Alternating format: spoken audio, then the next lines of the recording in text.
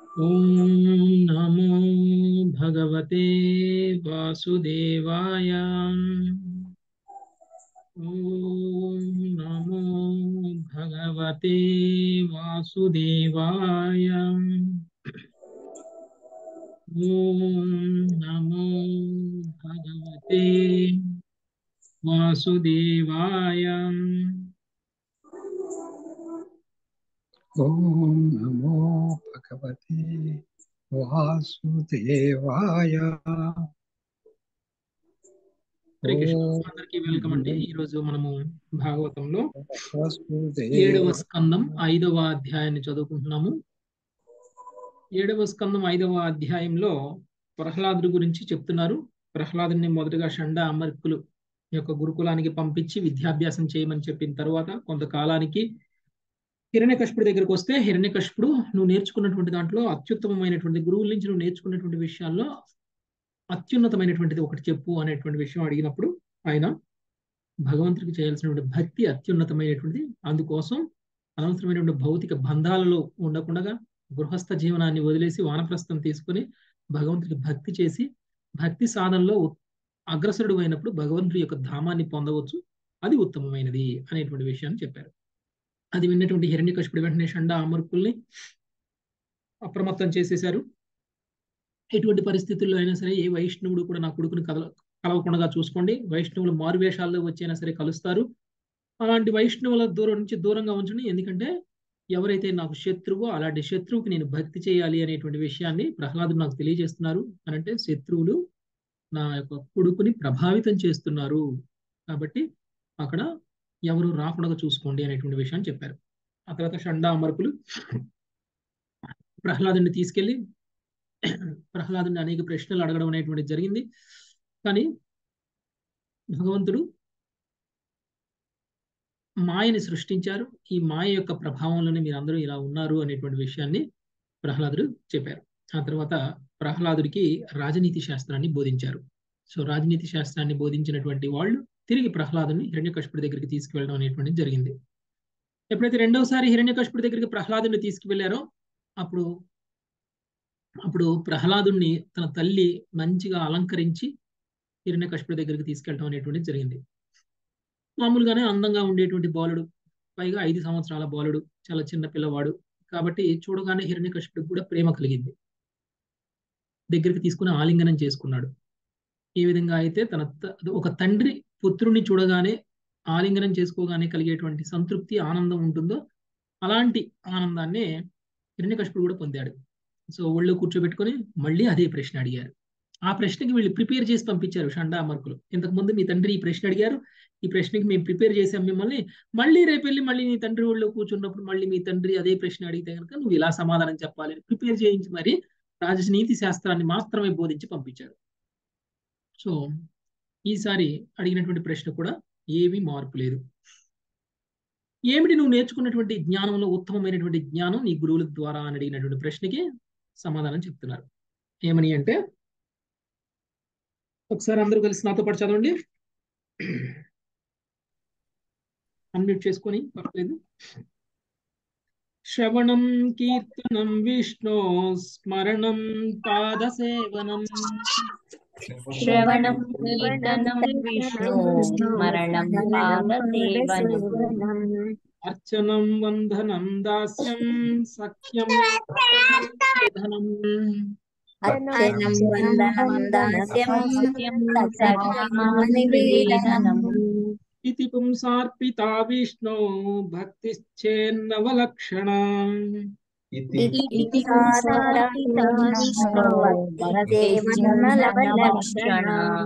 ప్రియేత భగవత్యర్థ తన్మన్యేధీతముత్తమం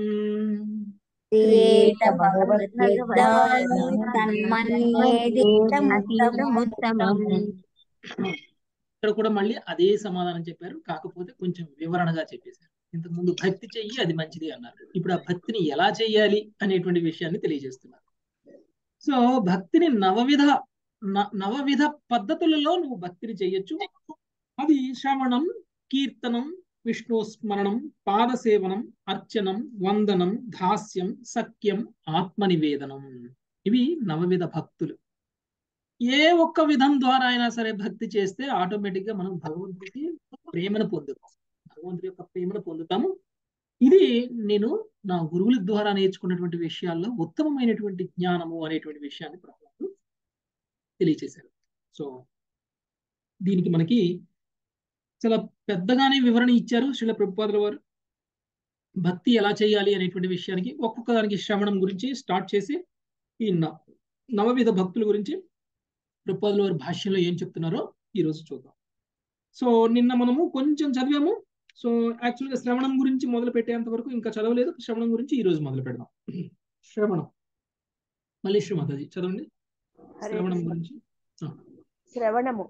భగవంతుని పవిత్ర నామము ఆలకించుటయే అనగా శ్రవణము. భక్తియుత సేవకు ఆరంభము.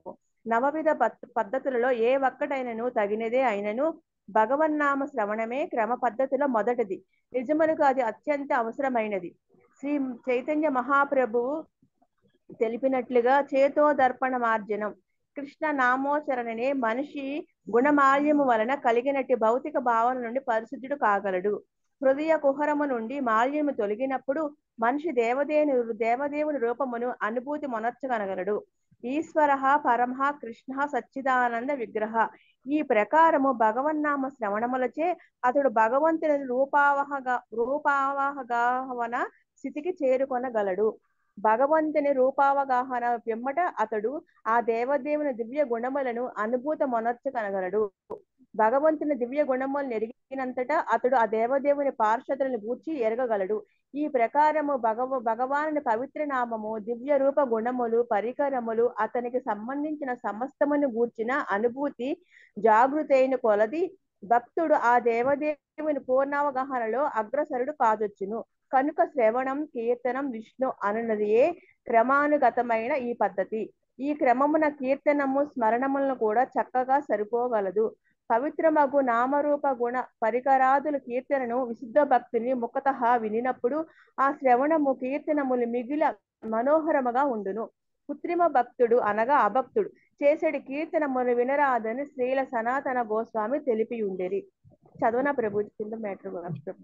సో నవవిధ భక్తుల్లో మొట్టమొదటి పద్ధతి ఏమిటి అని అంటే శ్రవణం. శ్రవణానికి చాలా ఇంపార్టెంట్ ఉంది. ఈవెన్ మనకి భగవద్గీతలో కూడా శ్రీకృష్ణ భగవానుడు అనేక సందర్భాల్లో వినండి వినండి అనేటువంటి విషయాన్ని తెలియచేశారు. నేను చెప్తున్నా వినండి అన్నారు.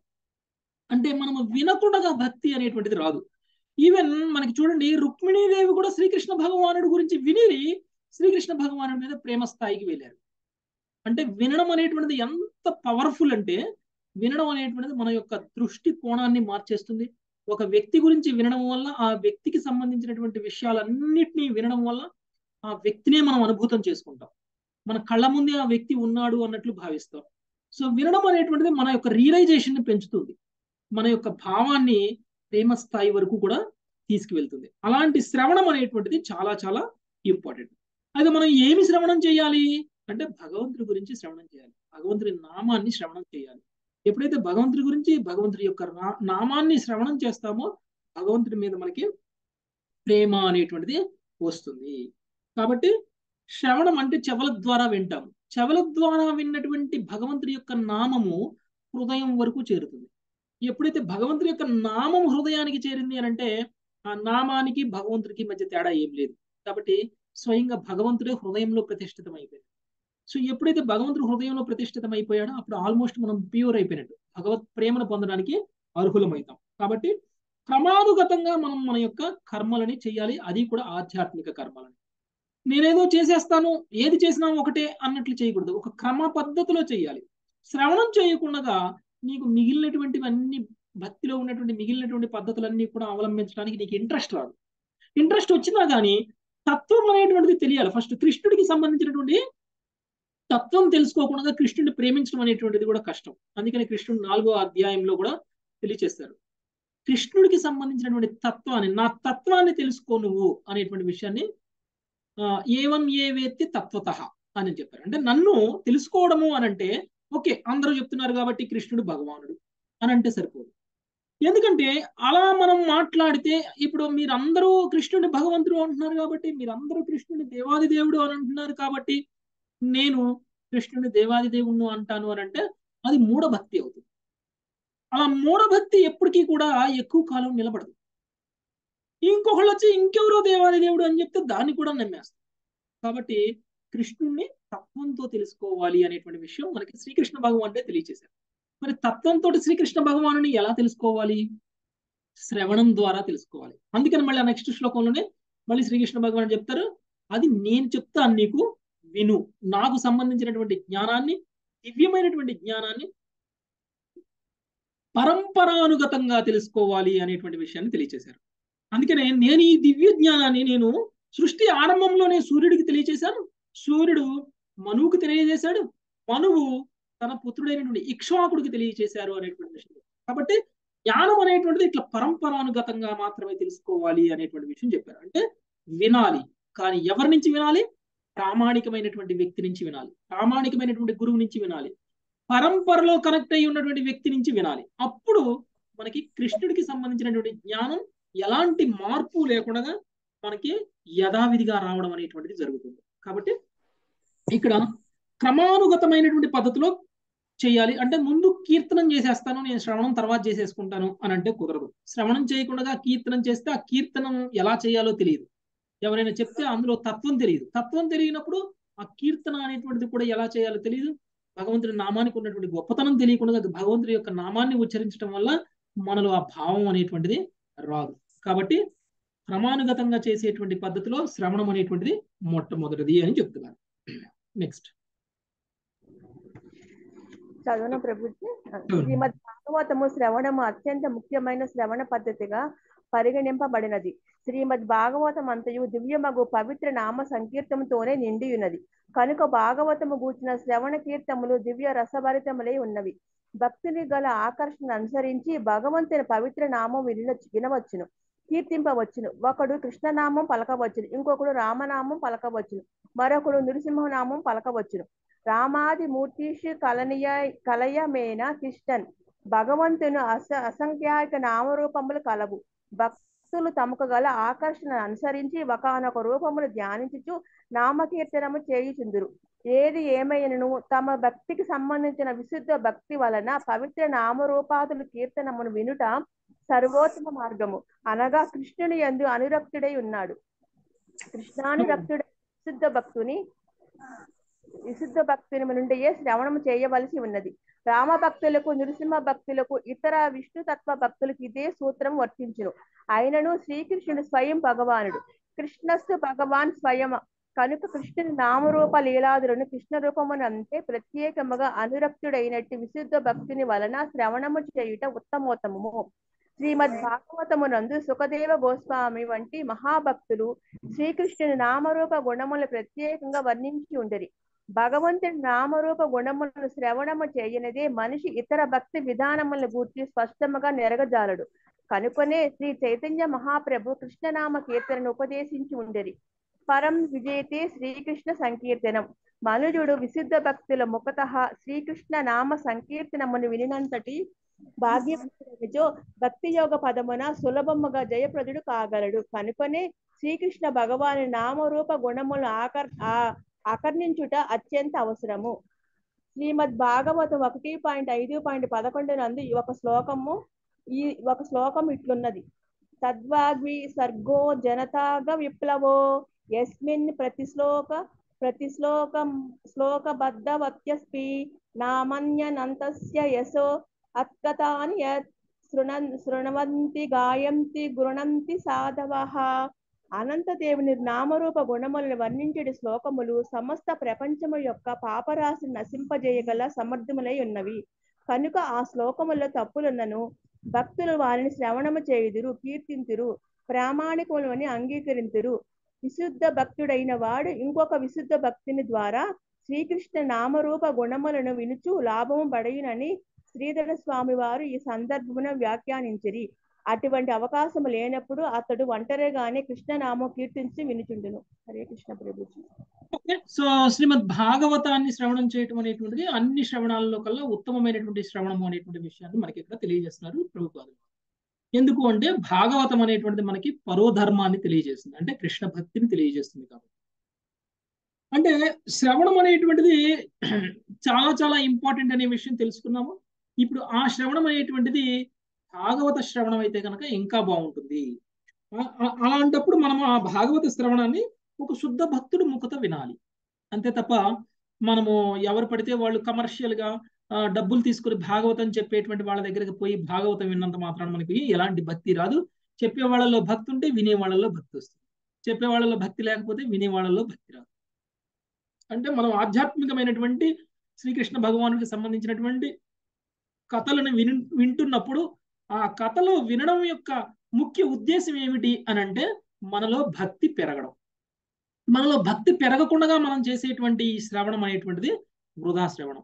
కాబట్టి శ్రవణం అనేటువంటిది శుద్ధ భక్తుడి నోట్లోంచి వినండి. అప్పుడు శుద్ధ భక్తుడు ఆ, యొక్క ప్రేమను కలిపి మనకి ఆ శ్రవణం అనేటువంటిది ఇంకా బాగుంటుంది. దానివల్ల మనకి ఇంకా ఆనందం వస్తుంది. ఇప్పుడు మనకి మన దీనికి ఒక మనం ఒక మంచి ఉదాహరణ చెప్పుకున్నాం ఇంతకు ముందు. శ్రీకృష్ణ భగవానుడు చేసినటువంటి లీలలు యశోదమాతకు తెలియనివి కాదు. యశోదమాత ఇంట్లో కూడా చేశారు. ఏమేమైతే దొంగ చేశారు? వెన్నని దొంగిలించడము లేకపోతే కుండలు పగలగొట్టడము అక్కడ ఉన్న వెన్నంతా తినడము లేకపోతే ఆ వెన్నని వాళ్ళ ఫ్రెండ్స్ అందరికి పంచిపెట్టడం ఇవన్నీ యశోదమాత కూడా చేశారు. యశోదమాత ఇంట్లో కూడా చేశారు. కానీ కృష్ణుడి వెళ్ళి వేరే గోపికల ఇంట్లో చేసినప్పుడు గోపికలు యశోదమాత దగ్గరకు వచ్చి చెప్తున్నప్పుడు యశోదమాత ఇంకా ఆనందపడింది. తన ఇంట్లో కృష్ణుడు చేసినప్పుడు పడినటువంటి ఆనందం కంటే ఎక్కువ గోపికల ఇంట్లో కృష్ణుడు చేసినప్పుడు గోపికలు ఏమేమైతే ఆ చేశాడు కృష్ణుడు అని యశోదకి కంప్లైంట్ రూపంలో చెప్తూ ఉన్నారో అప్పుడు యశోద పడినటువంటి ఆనందం ఇంకా ఎక్కువగా ఉంది. ఎందుకు అంటే కృష్ణుడి మీద ఉన్నటువంటి ప్రేమ కూడా జోడించి గోపికలు యశోదామాతకి తెలియచేశారు కాబట్టి. అంటే శుద్ధ భక్తుల ద్వారా వింటే ఆ భావం అనేటువంటిది వస్తుంది. మనం కూడా భాగవతాన్ని సుఖదేవ గోస్వామి లాంటి శుద్ధ భక్తుడి ద్వారా వినాలి. ఎందుకంటే మనం ఇప్పుడు అదే చేస్తున్నాం. సుఖదేవ గోస్వామి రాసినటువంటి భాగవతాన్ని మనం అందరం కూడా వింటున్నాం. అంటే సుఖదేవ గోస్వామి చెప్తుంటే మనం వింటున్నాం. కాబట్టి ఆ సుఖదేవ గోస్వామి ఇప్పుడు అంతమంది గొప్ప సాధు పురుషులందరూ ఉండంగా అంతమంది స్వయంగా నారదుడు ఉన్నారు అక్కడ. విష మళ్ళీ వ్యాసుడు కూడా ఉన్నారు. రాసినటువంటి వ్యాస భగవానుడు కూడా ఉన్నారు. మరి భాగవతం గురించి గొప్పగా ఎవరికి తెలుసు? అంటే భాగవతం గురించి గొప్పగా సుఖదేవ గోస్వామికి తెలిసినంతగా వ్యాసదేవుడికి కూడా తెలియదు అని చెప్తున్నారు.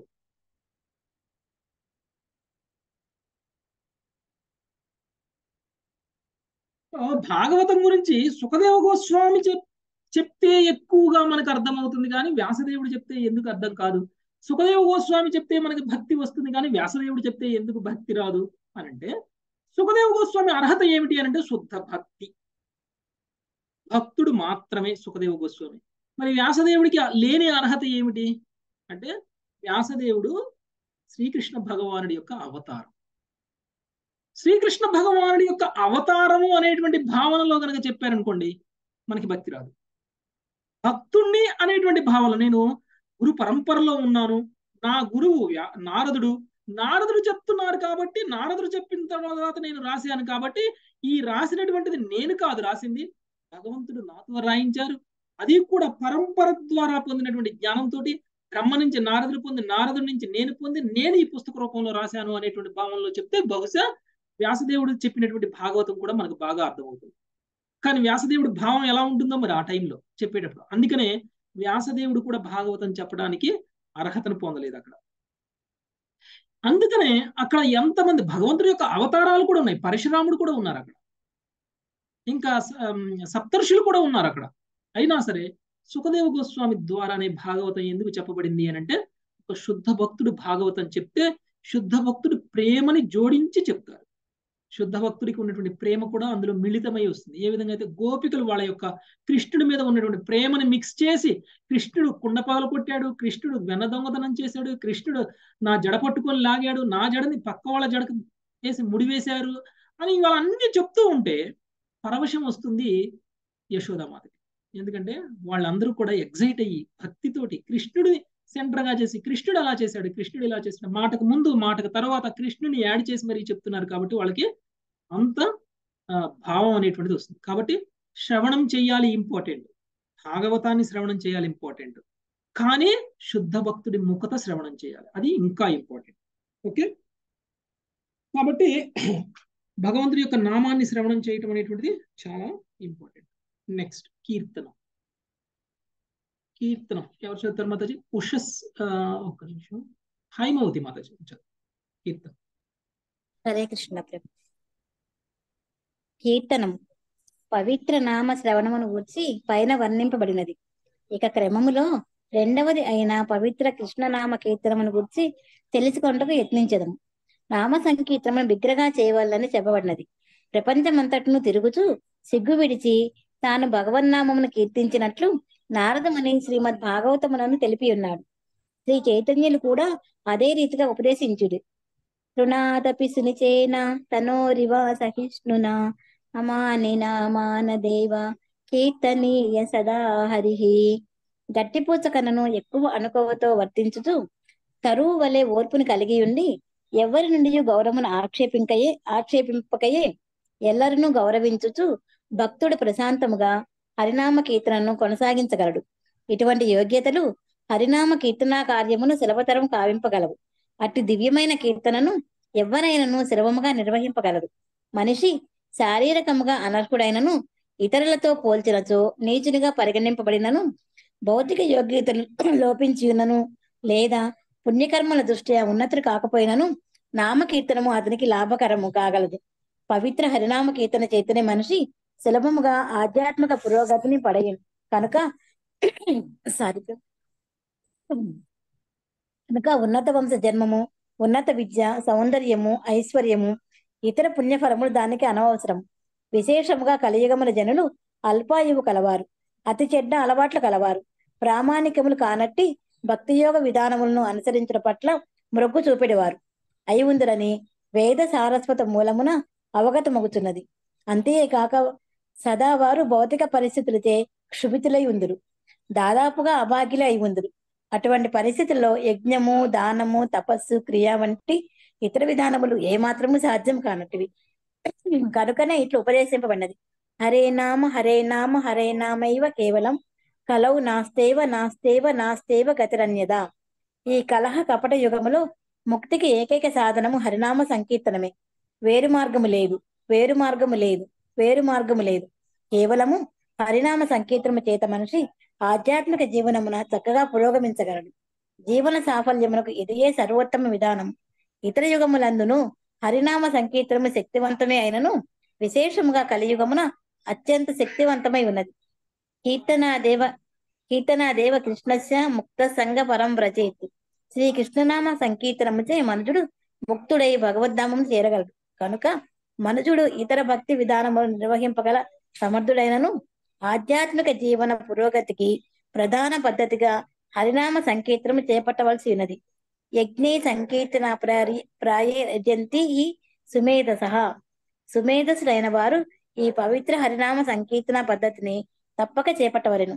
ఈ విషయమున మనిషి నానా రకములైన సంకీర్తనలను భజనలను కృత్రిమముగా కల్పింపక శాస్త్రమునందు ఉపదేశింపబడిన హరే కృష్ణ హరే కృష్ణ కృష్ణ కృష్ణ హరే హరే హరే రామ హరే రామ రామ రామ హరే హరే అను నామకీర్తనని శ్రద్ధతో వర్ణింపవలెను హరినామ సంకీర్తనం కావించినప్పుడు మనుజుడు దశ విధములైన అపరాధములను సావధానుడై త్యజింపవలసి ఉండును.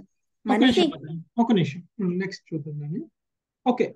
సో కీర్తనం అనేటువంటిది నవవిధ భక్తుల్లో రెండవది. సో కీర్తన ఎలా చేయాలి అనేటువంటి విషయం చెప్తున్నారు. ఏం కీర్తన చేయాలి? భగవంతుడి యొక్క గుణగణాలను కీర్తించాలి. భగవంతుడి యొక్క నామాన్ని కీర్తించాలి. అయితే కీర్తించేటప్పుడు ఎలా చేయాలి? భగవంతుడి యొక్క గుణాన్ని నామాన్ని కీర్తించేటప్పుడు బిగ్గరగా చేయాలి. అందరికీ వినపడేటట్టు చేయాలి. దానివల్ల మనకి కూడా వినపడుతుంది. అంటే శ్రవణం అనేటువంటిది కీర్తన ద్వారా కూడా జరుగుతుంది. అంటే మనం విన్ మనం చేసినటువంటి కీర్తన మనకే వినిపించేలా చేయాలి. మనకి ఇంతకు ముందు శ్రవణం గురించి తెలియచేసినప్పుడు కూడా మనకి చెప్పేవాళ్ళు ఎవరు లేనప్పుడు మనం ఏం చేయాలంటే భగవంతుడి యొక్క నామాన్ని బిగ్గరగా చెప్తే ఏమవుతుంది అని అంటే మనం చెప్పింది మనమే వింటాము అది కూడా శ్రవణం అవుతుంది అనేటువంటి విషయాన్ని విన్నాము నారదుడు కూడా అన్ని లోకాలకి ప్రయాణం చేస్తూ ఆయన బిగ్గరగా భగవంతుడి యొక్క నామాన్ని ఉచ్చరిస్తూ వెళ్తూ ఉంటారు. ఎందుకంటే ఆయన యొక్క నామాన్ని ఆయనే ఆయన ఉచ్చరించినటువంటి నామాన్ని ఆయనే వింటూ వెళ్తూ ఉంటారు. అంటే భగవంతుడి యొక్క నామము అనేటువంటిది మనల్ని పవిత్రం చేస్తుంది. అందుకనే భగవంతుడి యొక్క దివ్యమైనటువంటి నామాన్ని దివ్యమైనటువంటి జన్మని దివ్యమైనటువంటి కర్మని గురించి శ్రవణం చేయటము కీర్తన చేయటము అనేటువంటిది మనల్ని మనకి ఎలాంటి లాభాన్ని తీసుకొస్తుంది? మనకి మళ్ళీ తిరిగి భౌతిక శరీరాన్ని పొందకుండా ఆధ్యాత్మిక శరీరంతో భగవద్ధామానికి వెళ్ళడానికి ఉపయోగపడుతుంది. జన్మ కర్మచమే దివ్యం అనేటువంటి శ్లోకంలో శ్రీకృష్ణ భగవాన్ అదే చెప్పారు. తిరిగి మళ్ళీ మనం భౌతిక శరీరాన్ని తీసుకోవాల్సిన అవసరం లేదు. ఇలాంటి వాళ్ళందరూ తిరిగి నా ధామానికే వస్తారు అనేటువంటి విషయం చెప్పారు. అయితే మరి ఇలాంటి నామాన్ని తీసుకోవడానికి ఇలాంటి భగవంతుడి యొక్క లీలల్ని వినడానికి శ్రవణం చేయడానికి కీర్తన చేయడానికి మరి అర్హత ఏమి ఉండాలి ఎన్నో జన్మల నుంచి అనేక పాపాలు చేసి ఇప్పటి వరకు పాపాలు చేస్తూ చేస్తూ అనేక శరీరాలను మారుస్తూ ఇప్పుడు ఒక శరీరాన్ని పొందాము ఇక్కడ కూడా మళ్ళీ పాపాలే చేస్తున్నాం. ఇన్ని పాపాలు చేసినటువంటి వ్యక్తికి మరి భగవంతుడి యొక్క ధామానికి వెళ్ళాలి అని అంటే సాధ్యం ఎలా అవుతుంది? సాధ్యం కాదు. ఇక్కడి నుంచి అయినా సరే కొన్ని జన్మల పాటు మనం భగవంతుడి యొక్క నామాన్ని తీసుకుంటే భవిష్యత్తులో అని మనం భగవంతుడి యొక్క ధామానికి వెళ్ళే స్థాయిలో పవిత్రులం అవ్వగలుగుతాం. మరి దానికి అర్హత ఏమిటి అంటే ఇన్ని పాపాలు చేసినటువంటి వ్యక్తి భగవంతుడి యొక్క నామాన్ని తీసుకోవడానికి అర్హత లేదు అని చెప్పడానికి లేదు. కలియుగంలో ఎలాంటి పాపం చేసినటువంటి వ్యక్తి అయినా సరే భగవంతుడి యొక్క నామాన్ని తీసుకొని భగవంతుడి యొక్క నామాన్ని జపించటం వలన కీర్తన చేయటం వలన పాపాలన్నింటినీ కోల్పోవచ్చు పాపాలన్నింటినీ పోగొట్టుకొని మనలో ఉన్నటువంటి కల్మషాలన్నీ పోయి శుద్ధ భక్తులుగా మారచ్చు అనేటువంటి విషయాన్ని మనకి చెప్తున్నారు. అందుకనే నువ్వు ఎన్ని పాపాలు చేసినటువంటి వ్యక్తివైనా సరే ఇప్పటి వరకు ఎంత మందినో చంపాను ఎంతో మంది వైష్ణవులకి అపరాధం చేశాను ఏదో చేసేసాను అని అనుకోవచ్చు కానీ నీకు ఎంత పాపం చేసినా సరే కనీసంగా ఇప్పుడైనా సరే శ్రీకృష్ణ భగవానుని శరణాగతి అయిపోయి ఆ భగవంతుడి యొక్క నామాన్ని కనుక మనం కీర్తించినట్లయితే వెంటనే మన పాపాలన్నీ తొలగిపోయేలా కృష్ణుడు చూసుకుంటాడు. మనల్ని తన ధామానికి మరికే తీసుకుని వెళ్తారు అనేటువంటి విషయాన్ని మనకి భగవద్గీతలో నాలుగవ అధ్యాయంలోనే భగవంతుడి యొక్క నామాన్ని కీర్తించడం వల్ల మనకు వచ్చేటువంటి లాభాన్ని తెలియజేసిన తర్వాత పాపాత్ములైనా సరే శరణు పొందవచ్చు అనేటువంటి విషయాన్ని మనకి తెలియజేశారు అయితే ఇప్పుడు మనకి ఒక దిశానిర్దేశం కావాలి. ఏం కీర్తించాలి? ఎలా కీర్తించాలి? అనేటువంటిది మనకి చాలా ఇంపార్టెంట్. మనకి శాస్త్రం ఏం చెప్తుంది అంటే హరేర్నామ హరేర్నామ హరేర్నామైవ కేవలం ఫలవు నాస్తైవ నాస్తైవ నాస్తైవ గతిరంజద హరినామాన్ని కీర్తించడం తప్ప వేరే మార్గం లేదు మార్గం లేదు మార్గం లేదు. హరినామం తప్ప వేరే మార్గం లేదు అనే విషయాన్ని శాస్త్రమే తెలియజేస్తుంది ఇది మనకి చైతన్య మహాప్రభువు కూడా ఇదే విషయాన్ని తెలియజేశారు కలియుగంలో మనం ఏ నామం తీసుకున్నా కానీ ఆ నామం యొక్క బలం ఆ నామం యొక్క ఆ నామాన్ని కీర్తించడం వల్ల వచ్చేటువంటి ఫలితం మనకి వస్తుందో లేదో గ్యారంటీ లేదు.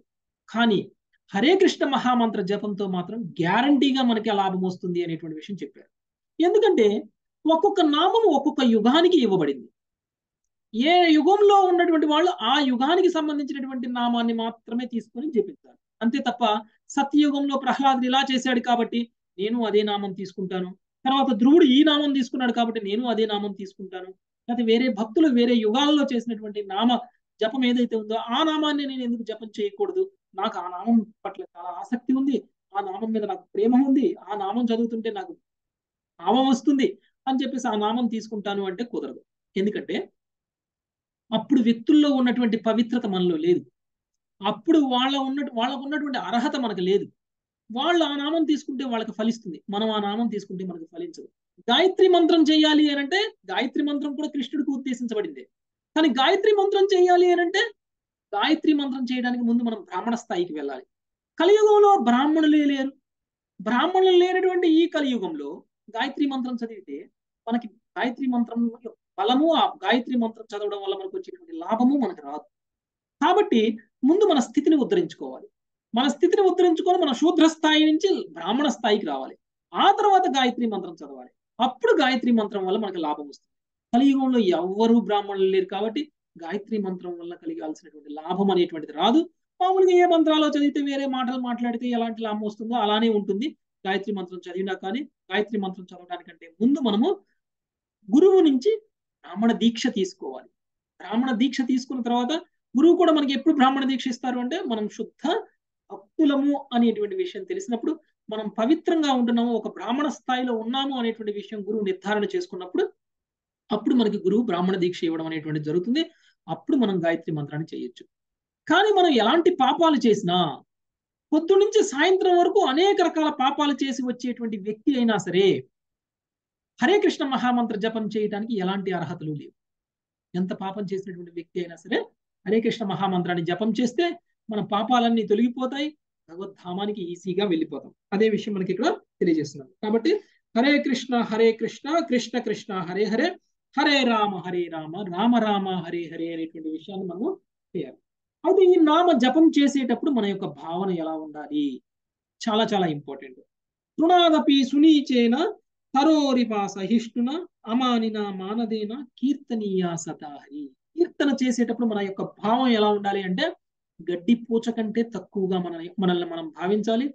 మనకు ఉండాల్సినటువంటి సహనం ఏమిటి అని అంటే తరోరిపాస హిష్ణున ఒక వృక్షానికి ఉండాల్సినటువంటి సహనం కంటే కూడా ఎక్కువగా మనకి సహనం ఉండాలి గడ్డి పూచకు ఉండాల్సినటువంటి ఆ అణుకువ కంటే కూడా ఎక్కువగా మనకి అణుకు అంతకంటే తక్కువ వాళ్ళగా మనల్ని మనం భావించాలి. మన భావన అలా ఉండాలి. అంతేగాని నా అంత గొప్పోళ్ళు లేడు నా అంత గొప్ప భక్తుడు లేడు అనేటువంటి భావనలో మనం ఉండి మీ అందరికంటే నేను ఎక్కువగా చేస్తున్నాను మీరందరూ ఒక రౌండ్ చేస్తే నేను పది రౌండ్లు చేస్తున్నాను మీ అందరికంటే ఎక్కువ పుణ్యం నాకు వస్తుంది మీ అందరికంటే ఎక్కువగా కృష్ణుడు నన్ను ప్రేమిస్తాడు అనేటువంటి భావనలో మనం ఉండి గనక కృష్ణనామాన్ని గనక జపం చేస్తే దానివల్ల మనకి ఎలాంటి లాభము రాదు. కాబట్టి మనల్ని మనం ఎప్పటికీ కూడా ఇంకా ఇంకా నేను శుద్ధ భక్తుని కాలేదు ఎప్పుడు నేను శుద్ధ భక్తుని అవుతాను? చూసిన ప్రతి ఒక్కళ్ళు నాకంటే గొప్పగా భక్తిగా చేస్తున్నారు. వాళ్ళలా నేను రావాలి వాళ్ళ స్థాయిలోకి నేను రావాలి అనేటువంటి భావంలో ఉన్నప్పుడు అందరికంటే మనల్ని మనం తక్కువగా చూపించుకోగలిగినప్పుడు చేసేటువంటి కీర్తన వల్ల వచ్చేటువంటి లాభం ఎన్నో రెట్లు ఎక్కువగా ఉంటుంది. కాబట్టి తృణాదపి సునీచన అంటే ఒక తృణము కంటే నీచమైనటువంటి వాడిగా మనల్ని మనం భావించాలి తప్ప మనం ఒక గొప్ప వ్యక్తులము అనేటువంటి భావంలో మనం చేస్తే మనకు ఉన్నటువంటి అహంకారం వల్ల భగవంతుడి యొక్క నామం యొక్క బలం అనేటువంటిది మనకి పనిచేయదు. ఇలాంటి నామాన్ని మనం జపం చేసేటప్పుడు అనేక అపరాధాలు చేసేటువంటి ప్రమాదం ఉంది. అపరాధ రహితంగా నామం చేసినప్పుడు భగవద్ధామానికి వెళ్తాం. అపరాధాలతో నామం చేసినప్పుడు భగవద్ధామానికి వెళ్ళాం. నామం యొక్క బలం ఉంటుంది. యమలోకానికి వెళ్ళకుండా కాపాడబడతాం. లేదు అనంటే ఉత్తమ లోకాల్లో జన్మలు తీసుకుంటాం. లేదంటే ఒక శుద్ధ భక్తుడు ఇంట్లో పుడతాం. శుద్ధ భక్తుడు ఇంట్లో పుట్టి భగవంతుడి యొక్క నామాన్ని అపరాధరహితంగా చేసేటువంటి స్థాయికి వెళ్తాం. అంటే నామాన్ని మనం చేసేటప్పుడు మనం కీర్తన చేసేటప్పుడు అనేక రకాలుగా చేయొచ్చు అనమాట నామాభాస స్థాయిలో ఉన్నప్పుడు మనకి ఆ నామాపరాధ స్థాయి నుంచి నామాభాసకు రావాలి. నామాభాస నుంచి శుద్ధ భక్ శుద్ధ నామ స్థాయికి రావాలి. మనం అందరం కూడా ఇప్పుడు నామాపరాధ స్థాయిలో ఉన్నాం. అంటే అపరాధాలు చేస్తూ నామం చేస్తాం మొబైల్ చూసుకుంటూ నామం చేస్తాము ఎవరితో మాట్లాడుకుంటూ నామం చేస్తాము లేదు అని అంటే ఏదో పనులు చేసుకుంటూ నామం చేస్తాము ఏదో ఆలోచించుకుంటూ నామం చేస్తాము డ్రైవింగ్ చేసుకుంటూ నామం చేస్తాము మాట్లాడుతూ నామం చేస్తాము ఇలాంటివన్నీ చేస్తాం. ఇదన్నీ కూడా అపరాధ పూరితమైనటువంటి నామం. కాబట్టి నామాపరాధము అనేటువంటిది చెయ్యకుండా ఎప్పుడైతే నామం చేస్తామో అది నామాభాస స్టేజ్. నామాభాస స్టేజ్ దాటినప్పుడు శుద్ధ నామ స్థాయికి మనము వెళ్తాము. అపరాధాలు లేకుండా మనము నామం చేయాలి. ఏంటి అపరాధాలు? ఎలాంటి అపరాధాలు మనం చేస్తాము అనేటువంటి విషయం కీర్తన చేసేటప్పుడు మనం చేసేటువంటి అపరాధాలు ఎలా ఉంటాయి అనేటువంటి విషయం మనకి ఇక్కడ పారాగ్రాఫ్లో మనకి ప్రపోజల్ వారు తెలియజేస్తున్నారు. నెక్స్ట్ ఉషశ్రీ మాతాజీ చదువు మాతాజీ. హరినామ సంకీర్తనము కావించినప్పుడు. హరే కృష్ణ ప్రభుజీ. హరినామ సంకీర్తనము కావించినప్పుడు మనుజుడు దశ విధములైన అపరాధములను సావధానుడే త్యజింపవలసి ఉండును. మనిషి పలు విధములుగా ఘోరా ఘోరాపరాధి అయినను ఘోరాపరాధి అయినను భగవన్నామంను ఆశ్రయించినచో ఆశ్రయించినచో అట్టి అపరాధమయ జీవనము నుండి బయటపడునని సనత్ కుమారుని ఉపదేశం వలన అవగతమగుచున్నది.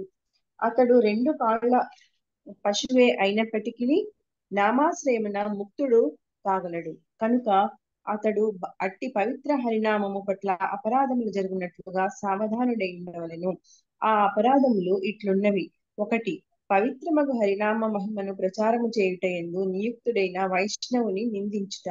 రెండు శివాది ఇతర దేవతల నామములు భగవన్నామముతో సమానమని భావించుట. ఎవడు అనగా ఎవడును భగవంతునికి సమానుడు కాని అధికుడు కాని కాడు. మూడు గురుదేవుని ఆజ్ఞను ఉల్లంఘించుట. నాలుగు వేద సారస్వతమును మరియు వేద సారస్వతమునకు అనుగుణముగా వ్రాయబడిన గ్రంథములను నిందించుట.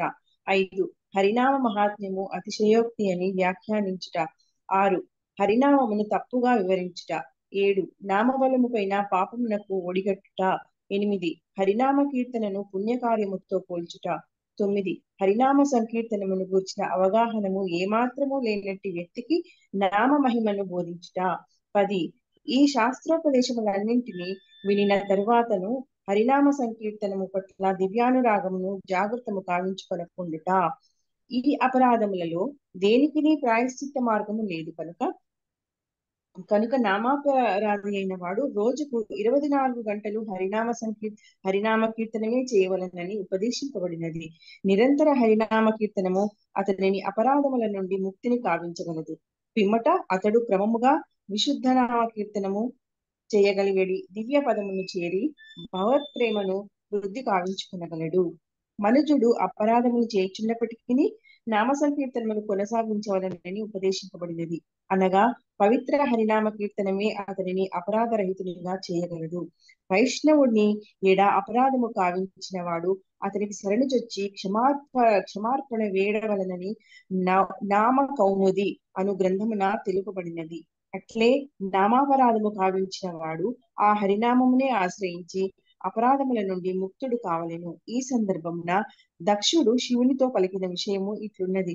నేను నీ మహిమను నేను నీ మహిమను ఎరగక సభలో నీ ఎడ అపరాధమునర్చితిని అయినను కరుణాహృదయుడైన నీవు నా అపరాధమును పట్టించుకోలేదు పైగా నిన్ను నిందించిన కారణమున నేను పతనము చెందుచుండగా కరుణతో నన్ను కరుణతో గాంచి నన్ను కాపాడితివి. నీవు మహనీయుడవు. దయతో నన్ను క్షమించి నీ మహాద్గుణములను గాంచి సంతృప్తి చెందనిమ్ము అయి ముక్త కులైరుపాస్యమానం మరియు నివృత్త తర్హై తర్షైరుపగీయ మానాద్ వంటి నామ మహిమా గానము చేయుటకు కోరికలను అర్పించుటకు మనిషి వినమ్ర భావము కలవాడై ఉండవలెను.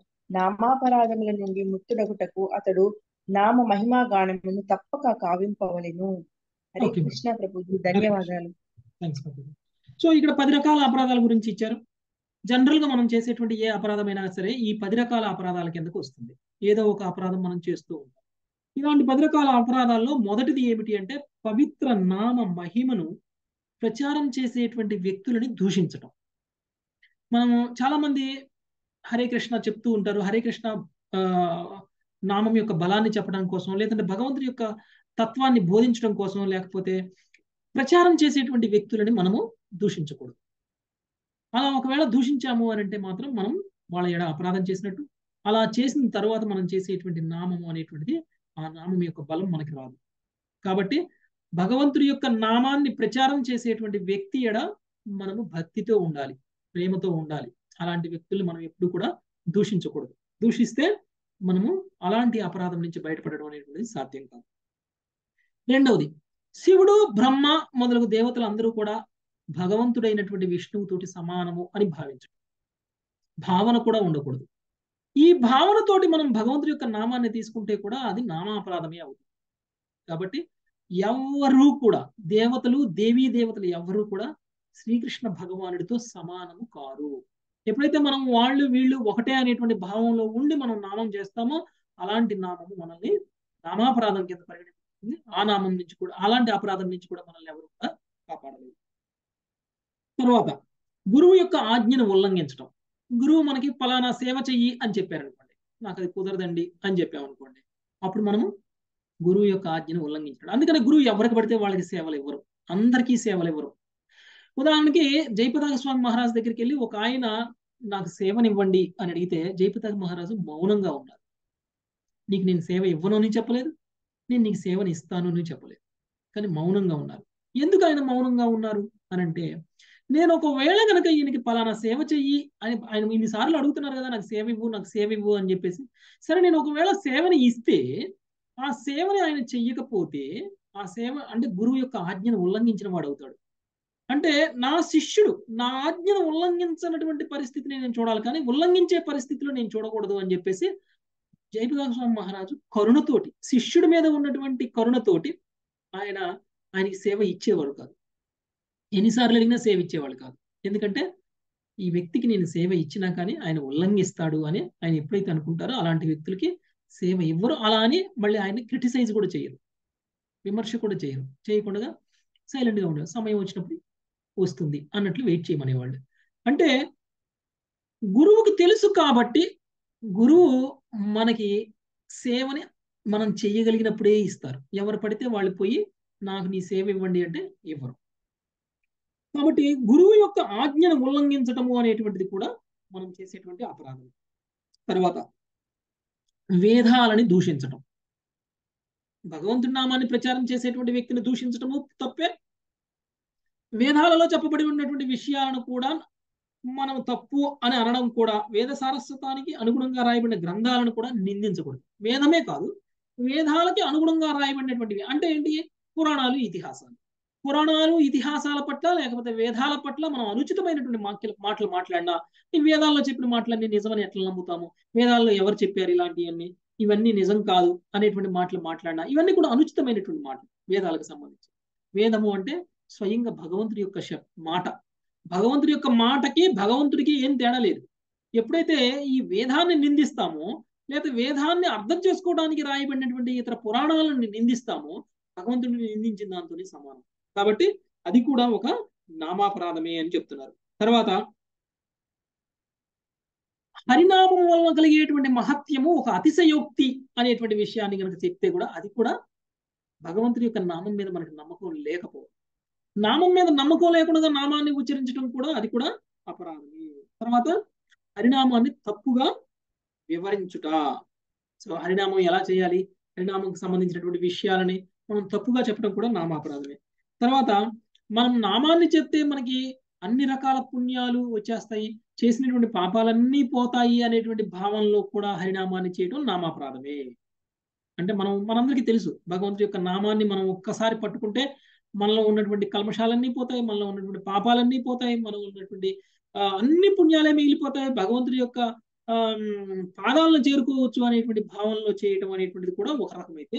ఇంకొకళ్ళు నేను ఈ రోజు ఏ తప్పులు చేశానో ఆ తప్పులన్నీ వాటి వలన కలిగేటువంటి పాప ఫలాలన్నీ కూడా నశించిపోవడం కోసం ఈరోజు సాయంత్రం కూర్చొని నేను హరినామ జపం చేస్తాను అని అంటే అది చాలా పొరపాటు హరినామమును మనము పాప పాపాన్ని పోగొట్టడానికి ఉపయోగపడేటువంటి ఒక మంత్రము అనేటువంటి భావనలు చేయకూడదు.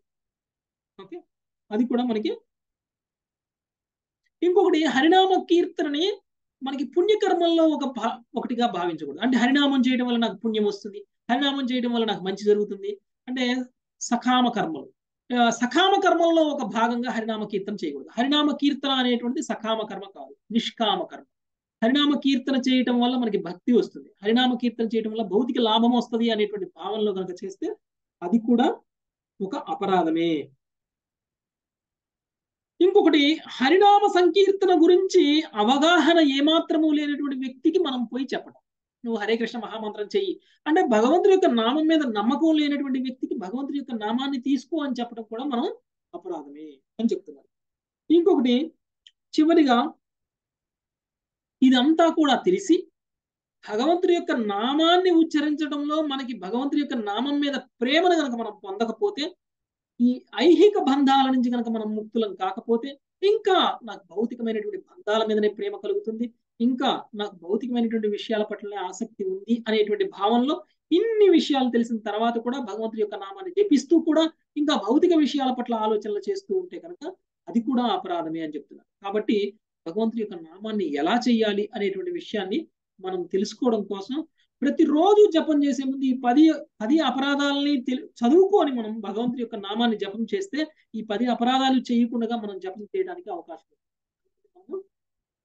మార్నింగ్ రోజు లేచి జపం చేసే ప్రతి ఒక్కళ్ళు కూడా నామాపరాధాలను చదివిన తరువాత జపం చేయండి. అప్పుడు నామాపరాధాలు మనకి గుర్తు చేస్తాయి. ఏం తప్పు చేయకూడదు. ఎలా నామం చేయాలి అనేటువంటి విషయాన్ని మనకి గుర్తు చేస్తూ ఉంటాయి. కాబట్టి ఇది నామాపరాధాలు చేసేటువంటి విధ నామాపరాధాలు ఏ విధ ఏ విధంగా చేస్తాము అనేటువంటిది ఇక్కడ తెలియజేశారు ఆ తర్వాత ఒకవేళ మనం నామాపరాధం చేస్తే ఏం చేయాలి? నామాపరాధం చేసినటువంటి వ్యక్తి మళ్ళీ పదే పదే నామాన్ని ఉచ్చరించాలి. అదే మనకి రెమెడీ ఒకసారి నామాన్ని అపరాధంతో చేస్తే రెండోసారి అపరాధంతో చేయకుండా చేయడానికి మళ్ళీ ప్రయత్నం చేయాలి. మళ్ళీ అపరాధం చేస్తే మళ్ళీ చేయాలి. మళ్ళీ చేస్తే మళ్ళీ చేయాలి. ఇలా పదే పదే పదే పదే భగవంతుడి యొక్క నామాన్ని జపం చేయటం వల్ల నామాపరాధాలు లేనటువంటి స్థాయి వరకు వెళ్ళగలుగుతాం. ఓకే? సో ఇంకా వైష్ణవాపరాధం కూడా అలాంటిదే. వైష్ణవాపరాధం చేసినటువంటి వ్యక్తి కూడా నామా నామాపరాధం చేసిన దాంతోనే సమానం. కాబట్టి వైష్ణవుడికి కూడా అపరాధం చేస్తే ఆ వైష్ణవుడి దగ్గరికి వెళ్ళే క్షమాపణ అడగాలి. ఎప్పుడైతే ఆ వైష్ణవుడు క్షమిస్తాడో అప్పుడు మాత్రమే మనకి ఆ ఆ యొక్క వైష్ణవుడికి చేసినటువంటి అపరాధం నుంచి ముక్తి అనేటువంటిది లభిస్తుంది. ఆ తర్వాతనే భక్తి అనేటువంటిది మనలో వస్తుంది. మనలో భక్తి మొలకెత్తాలి అంటే వైష్ణవ అపరాధాలన్నీ కూడా మనం ఆపేయాలి.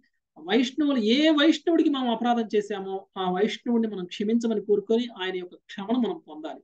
ఇప్పుడు చూడండి దక్షుడు. దక్షుడు కూడా శివుడి ఎడ చాలా ఘోర ఘోరమైనటువంటి అపరాధం చేశాడు. విష్ణు భక్తుడైనటువంటి దక్షుడు శివుడికి అపరాధం చేశాడు. శివుడు కూడా విష్ణు భక్తుడే. వై వైష్ణవానాం యథాశంభు అన్నారు. అంటే వైష్ణవులందరిలో ఉత్తమమైనటువంటి వైష్ణవుడు శివుడు. అలాంటి వైష్ణవుడికి అపరాధం చేసినటువంటి దక్షుడి పరిస్థితి ఏమైపోయింది? చివరికి ఆ శివుడినే పూజించి ఆ శివుడి దగ్గరే క్షమాపణ చెప్పి ఆ శివుడికే కొంతకాలం అర్చన చేసిన తర్వాత ఆయన మళ్ళీ విష్ణు భక్తి అనేటువంటి పెరుగుతుంది.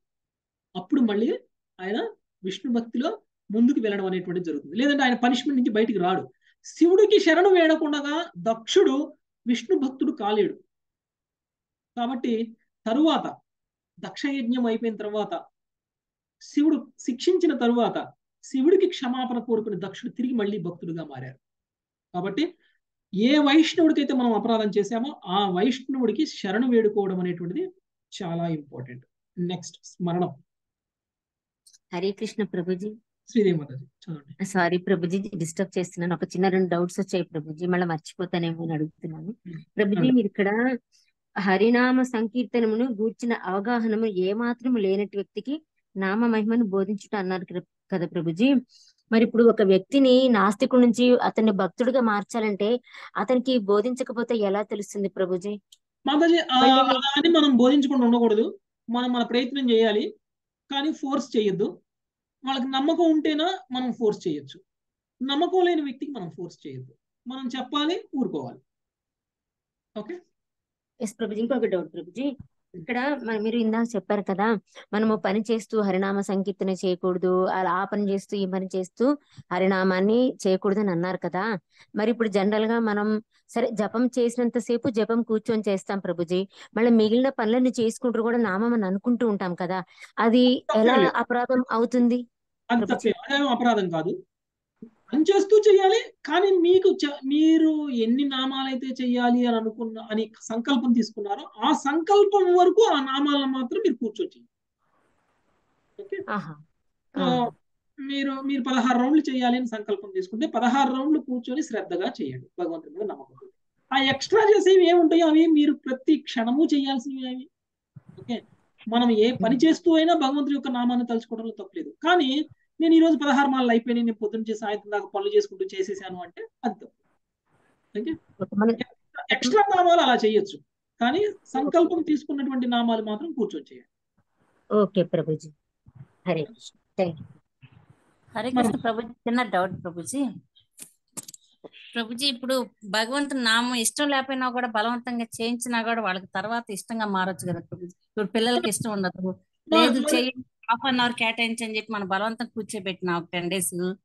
తర్వాత ఆ టైంకి వాళ్ళకి గుర్తు వస్తుంది కదా ప్రభుజీ చేయాలి ఆ పని అని. అంటే ఇప్పుడు భగవంతుడి మీద నమ్మకం లేని వ్యక్తితోటి చేయించకండి. నమ్మకం ఉన్న వ్యక్తితోటి ఆయనకి ఇష్టం లేకపోయినా కానీ బలవంతంగానే చేయించవచ్చు భగవంతుడి మీద నమ్మకం ఉండాలి ఫస్ట్. ఓకే? నామం మీద నమ్మకం ఉండాలి. ప్రభుజీ వాళ్ళలో నమ్మకం రావడానికి చేయించవచ్చు కదా అలా. చేస్తా అంటే చేయించండి మాతది తప్పేం లేదు. చేస్తాను అంటే చేయించండి. నేను చేయను అని దాన్నే ఎగతాళి చేస్తున్నారు అనుకోండి అలాంటి. వాళ్ళకి భగవంతుడి నామాన్ని ఎగతాళి చేసే వ్యక్తికి చెయ్యి చెయ్యి అని మనం ప్రోత్సహించకూడదు. అది. అంటే ఇక్కడ ఏం చెప్తున్నారంటే నమ్మకం లేని వ్యక్తులు అంటే ఇక్కడ ప్రత్యేకించి వాళ్ళు మనం నామం చెప్పడం వల్ల వాళ్ళే దూషిస్తూ ఉంటారు. భగవంతుడి యొక్క నామాన్ని దూషిస్తూ ఉంటారు. దాన్ని మనల్ని ఎక్కిరించడం భగవంతుడిని ఎక్కిరించడం ఇలాంటి పనులు చేస్తూ ఉంటారు. అలాంటి వాళ్ళకి మనం చెప్పాలి ఓకే అంటే ముందు నమ్మకాన్ని కలిగించాలి ప్రభుజీ. నమ్మకాన్ని కలిగించాలంటే శ్రవణం చేయాలి. శ్రవణం చేసిన తర్వాత కీర్తనకి రావాలి. అందుకే చెప్పేది. అవును ప్రభుజీ అవును ప్రభుజీ. మీరు డైరెక్ట్గా నామం చేయి నామం చేయని చెప్పకుండా మీరు నామం ఎందుకు చేయాలి? దానివల్ల వచ్చేటువంటి లాభం ఏమిటి? నామం చేయమని ఎక్కడెక్కడ శాస్త్రాల్లో చెప్పబడి ఉంది? నామం మాత్రమే మనకు ఉన్నటువంటి ఆ రెమెడీ అనేటువంటి విషయం ఎక్కడ చెప్పబడింది? ఇలాంటి విషయాలు శ్రవణం చేయించండి ఫస్ట్. దాని యొక్క గ్లోరిఫై చేయండి. నామం యొక్క గొప్పతనాన్ని చెప్పండి. ఆ తరువాత. నామం చేయమని చెప్పండి. కరెక్ట్ ప్రభుజీ హరే కృష్ణ. నెక్స్ట్ శ్రీదేవి మాతాజీ స్మరణం చదువుతారా? హరే కృష్ణ ప్రభుజీ. హరే కృష్ణ. స్మరణము. క్రమముగా శ్రవణ కీర్తనములు జరిగి హృదయము పవిత్రమైన పిమ్మట స్మరణము ఉపదేశించబడింది. శ్రీమద్ భాగవతము రెండు పాయింట్ ఒకటి పాయింట్ పదకొండు నందు సుఖదేవ గోస్వామి పరీక్షిన్ మహారాజుతో ఇట్లు పలికిండను ఏతన్ వి ఏతన్నిర్విద్యమాణానా మిచ్చతామకుతో భయం యోగినా నృప నిర్ణీతం హరేర్నామానుకీర్తనం రాజా భౌతిక సంబంధములన్నింటినీ పూర్తిగా విడిచిపెట్టిన మహాయోగులు భౌతిక భోగంచే కోరెడు వారులు కేవలము దివ్యజ్ఞానం చేతనే ఆత్మతృప్తులైన వారులు అనేది సర్వులకు నిరంతర హరినామ సంకీర్తననే ఉపదేశించబడినది. భగవంతునితో గల వివిధ సంబంధములను అనుసరించి వివిధ రకముల నామ నామాను కీర్తనము ఉన్నవి. ఈ ప్రకారము ఐదు రసభాసములు అనుసరించి ఐదు రకములకు స్మరణములు కలవు. అవి ఇట్లున్నవి. ఒకటి భగవంతుని ఒక ప్రత్యేక రూపార్చనమును గూర్చి శోధించుట. రెండు మనస్సును ఒక విషయంపై ఏకాగ్రపరిచి ఇతర విషయములపై ఆలోచన అనుభూతి కోరిక అనేది దాని కలాపములను ఉపసంహరించుకొనుట. మూడు భగవంతుని ఒక ప్రత్యేక రూపముపై ఏకాగ్రత చెందుట. దీనినే ధ్యానమందురు. నాలుగు మనస్సును భగవద్రూపము పైననే కేంద్రీకరించుట. దీనినే ధ్రువానుస్మృతి పరిపూర్ణ ధ్యానము అందరు. ఐదు ప్రత్యేక రూపంపై ఏకాగ్రత చెందుట ఎందు రుచిని పెంపొందించుకుంట. ఇది సమాధి అనబడును. భగవల్లీలను మనస్సులో ధ్యానించుట కూడా స్మరణమే అనబడును. అనగా సంబంధమును బట్టి ఐదు రకములకు సమాధి స్థితులు సంభవమై ఉన్నవి. ముఖ్యముగా శాంతరసములనున్న భక్తుల సమాధి స్థితి మానసిక చింతనము అనబడును. హరే కృష్ణ సో స్మరణము స్మరణము అనేటువంటిది మూడవది. ఎప్పుడైతే మనము భగవంతుడి యొక్క నామాన్ని ఆ శ్రవణం కీర్తనం చేస్తామో అప్పుడు ఆటోమేటిక్గా స్మరణం అనేటువంటి స్థాయి వరకు మనము వెళ్తాము. భగవంతుడి యొక్క స్మరణం చేయడము అని అంటే ఆల్మోస్ట్ మనం ధ్యానం చేయడం సో ధ్యానము అంటే సమాధి స్థితిలోకి వెళ్ళినటువంటి వ్యక్తి చేసేటువంటి ధ్యానం వేరుగా ఉంటుంది. కాబట్టి మనం ఇక్కడ చేయాల్సినటువంటి స్మరణం ఏమిటి అని అంటే భగవంతుడి యొక్క ప్రత్యేకమైనటువంటి రూపానికి మనము స్మరణం చేయాలి. ఇక్కడ అనేక రకాల స్మరణాల గురించి చెప్తున్నారు. ఒకటి భగవంతుడి యొక్క ప్రత్యేక రూపాన్ని గూర్చి స్మరణం చేయటము. రెండవది మిగిలినటువంటి విషయాలన్నిటి మీద ఏకాగ్రతను తీసేసి ఏదో ఒక విషయం మీద ఏకాగ్రతను పెట్టడం. అది కూడా ఒక రకమైనటువంటి స్మరణ. సో తర్వాత మూడవది భగవంతుని ఒక ప్రత్యేక రూపంపై ఏకాగ్రత చెందుట. నాలుగు భగవంతుడి యొక్క రూపము పైననే కేంద్రీకరించుట. అంటే దీన్ని ధ్రువానుస్మృతి అంటే పరిపూర్ణ ధ్యానము అందరు ఐదు ప్రత్యేక రూపంపై ఏకాగ్రత చెందుట ఎందు రుచిని పెంపొందించుకొనుట. ఇది సమాధి స్థితి. ఓకే? అంటే స్టార్టింగ్ స్టేజ్లో ఉన్నప్పుడు మనకి ఏమి భగవంతుడి యొక్క నామాన్ని స్మరణం చేసినా కానీ లేదా భగవంతుడి యొక్క రూపాన్ని స్మరణం చేసినా కానీ మనకి సమాధి స్థితి వరకు వెళ్ళలేము కానీ ఏ స్థితి ఎలా అంటే ఇప్పుడు ఇక్కడ ఏం చెప్తున్నారు అంటే కొంత కొన్నిసార్లు మనం ఏదో స్మరణ చేస్తున్నా కానీ పక్క నుంచి ఎవరైనా డిస్టర్బెన్స్ క్రియేట్ చేశారనుకోండి పక్క నుంచి ఎవరైనా పిలిచారనుకోండి మనం మన స్మరణలో నుంచి బయటకు వచ్చేసి మనం పలుకుతాం మాట్లాడతాం. కానీ పక్కన ఎవరైనా పిలిచినా కానీ మనకు అర్థం కాకుండా ఉండే అంత లెవెల్లో కనుక మనం ధ్యానం చేయగలిగితే ఆ స్మరణం సమాధి స్థితి. కాబట్టి ఆ సమాధి స్థితిలో వచ్చే అంటే డిఫరెంట్ స్టేజెస్ చెప్తున్నారు అనమాట స్మరణం అనేటువంటి దాంట్లో డిఫరెంట్ స్టేజెస్ చెప్తున్నారు. ఓకే? సో సో నెక్స్ట్ పాదసేవం. ప్రభుజీ హరే కృష్ణ సారీ ప్రభుజీ మళ్ళీ ఒక్క డౌట్ ప్రభుజీ. మళ్ళీ మర్చిపోతానేమని అడుగుతున్నాను. ప్రభుజీ మనకి ఇప్పుడు జపం చేసుకుంటూ కూడా సమాధి స్థితికి వెళ్ళటం అవుతుందా ప్రభుజీ? అంటే ఇప్పుడు నామం మీద మనం ఏకాగ్రపరిచి నామం చేస్తా ఉంటాము. అప్పుడు ఇక మనకి ఎటువంటి ఆలోచన లేకపోతే అది సమాధి స్థితికి వెళ్ళడానికి ఉంటుందా? అంటే జపం చేసేటప్పుడు మీరు జప చేసేటువంటి మా నామాన్ని కూడా వినాలి. ఓకే? రెండు భగవంతుడి యొక్క లీలల్ని స్మరణం చేయొచ్చు. ఎందుకు చేయాలి? భగవంతుడి యొక్క లీలను స్మరణం చేయడం వల్ల ఉపయోగం ఏంటి అంటే మన మైండ్ వేరే చోటకి వెళ్ళదు. వేరే ఆలోచనలోకి వెళ్ళదు. ఓకే? అది కూడా ఒక రకమైనటువంటి ధ్యానమే. ఆ ధ్యానము అంటే భగవంతుడి యొక్క నామాన్ని మనం జపం చేసేటప్పుడు మన బ్రెయిన్ అనేక విషయాల పట్ల వెళ్ళిపోతుంది. పొద్దు నుంచి సాయంత్రం వరకు చేసిన అనేక పనులు గుర్తొస్తాయి మనకి. నిన్న చేసినవి మొన్న చేసినవి అంతకు ముందు చేసినవి లేకపోతే జరిగిన సంఘటనలు లేకపోతే రేపు చేయాల్సిన పనులు ఎల్లుండి చేయాల్సిన పనులు అన్ని గుర్తొస్తూ ఉంటాయి. అదే గుర్తు. అన్ని గుర్తొస్తుంటాయి. అవన్నీ గుర్తు రాకుండా ఉండడం కోసం భగవంతుడి యొక్క ఏదో ఒక లీలలో భగవంతుడి యొక్క రూపాన్ని మీదనో ధ్యానం చేయాలి. ఓకే? అది చేసినప్పుడు మనకి అప్పుడు నామం మీద మనకి శ్రద్ధ వస్తుంది. ఆ తరువాత ఆ తరువాత నామం చెయ్యకుండా కూడా కూర్చొని సమాధి స్థితిలోకి వెళ్ళిపోతాం. ఓకే? అయితే ప్రభుజీ ఇట్లా స్వామి యొక్క ఒక లీలలను అలా అలా చేసుకున్నా అలా కాకపోయినా ప్రభుజీ ఆ నామం మీద కూడా ఏకాగ్రత పెట్టుకున్నా చేయొచ్చుగా ప్రభుజీ? చేయొచ్చు. ఆ- నామం మీద రుచి. మీ మైండ్ ఎటు వెళ్ళట్లేదు అని అనుకుంటే కనుక మీ ముందు ఒక ఫోటో పెట్టుకోండి దేవుడి ఫోటో పెట్టుకోండి. ఆ తర్వాత మీరు ఆ ఫోటోని చూస్తూ చేయండి. సో కళ్ళకి ఆ ఫోటో కనపడుతుంటే మన ఆలోచనలు వేరే వైపు పోవు. Thank you Prabhuji yes Prabhuji ఆ నామం మీద రుచి పెరుగుతుంది.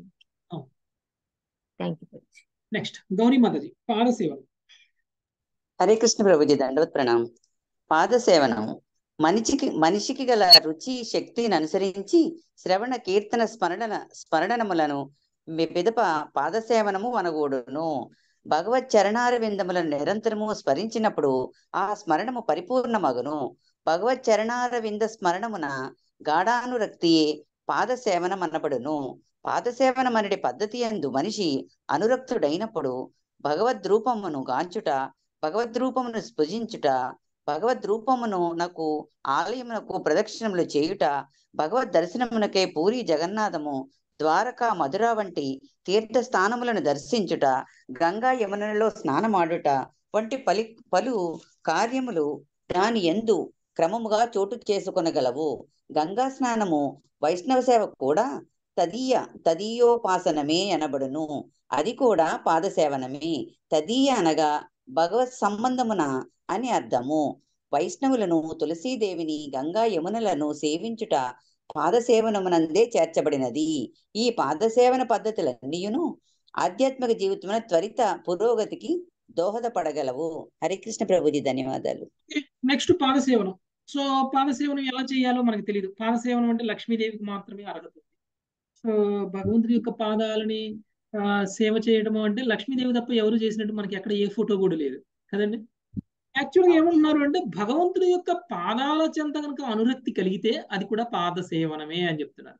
అంటే భగవంతుడి యొక్క పా చరణాలని చరణాలని తాకాలి అనేటువంటి కోరిక భగవంతుడి యొక్క చరణాలను ఆశ్రయించాలి అనేటువంటి కోరిక కూడా పాదసేవనం ఇది ఎలా సాధ్యమవుతుంది అని అంటే మనకి ఇక్కడ కొన్ని కొన్ని రకాలైనటువంటి పాదసేవనాల గురించి కూడా చెప్తున్నారు వేరే పద్ధతుల ద్వారా కూడా. ఎలా అంటే ఆ భగవద్ రూపముని చూడడం భగవద్ రూపమును స్పృశించుట భగవద్ రూపమునకు భగవద్ రూపమునకు ఆలయమునకు ప్రదక్షిణలు చేయుట పాదసేవ. గుడి చుట్టూ తిరుగుతాం కదా గుడి చుట్టూ ప్రదక్షిణ ఏదైతే చేస్తామో అది కూడా పాదసేవ తర్వాత భగవద్ దర్శనుడికై పూరి జగన్నాథము ద్వారక మధుర వంటి తీర్థస్థానములను దర్శనం మనం ఎందుకు వెళ్తాం భగవద్ ధామానికి భగవంతుడి యొక్క పుణ్య పుణ్య ఏమంటారు? పుణ్యస్థానాలకి. మనం పూరి జగన్నాథ్ మధుర బృందావనం లాంటి ప్రదేశాలకి మనము వెళ్ళడం కూడా మనం చేసేటువంటి పాదసేవనమే అని చెప్తున్నారు. అంటే ఆ తీర్థయాత్ర తీర్థయాత్రలా ప్రభుజీ? అవును. తీర్థయాత్రలు అంటే తీర్థయాత్రలు అంటే అన్ని రకాల తీర్థయాత్రలు కాదు. ఇక్కడ ఇక్కడ కొన్ని ఏది? విష్ణు ఆలయాలకు వెళ్ళడం. ఓకే? విష్ణు ఆలయాలకు వెళ్ళడం అనేటువంటి తీర్థస్థానాలు ఏదైతే చేస్తారో అది కూడా పాదసేవనమే. తరువాత అక్కడ ఉన్నటువంటి భక్తులకి సేవ చేయడం అది కూడా పాదసేవనమే. అక్కడ ఉన్నటువంటి శుద్ధ భక్తులు అంటే ఎవరండి? అంటే గంగా. సో మనం మామూలుగా ఎక్కడైనా సరే తీర్థస్థానాలకి వెళ్తే అక్కడ ఉన్నటువంటి పవిత్రమైనటువంటి నదిలో స్నానం చేస్తాం. పవిత్రమైనటువంటి నదిలో స్నానం చేయడం వల్ల ఏమవుతుంది అని అంటే మనలో ఉన్నటువంటి పాపాలన్నీ పోతాయి. ఇలా మనం పవిత్రమైనటువంటి నదిలో స్నానం చేయటం అంటే గంగని కూడా మనం ఆరాధించినట్లే. రెండు తులసిని. తులసిని ఆరాధించడం కూడా మనం వైష్ణవ ఆరాధనే అవుతుంది. గంగను ఆరాధించడం వైష్ణవ ఆరాధనే అవుతుంది. సో ఆ విధంగా పాదసేవనం అనేటువంటి నెక్స్ట్ స్థాయి ఏమిటంటే వైష్ణవ సేవ గంగా స్నానము తులసి ఆరాధన అనేటువంటిది కూడా మనకి పాదసేవనం కిందనే వస్తుంది అనేటువంటి విషయం చెప్తున్నారు.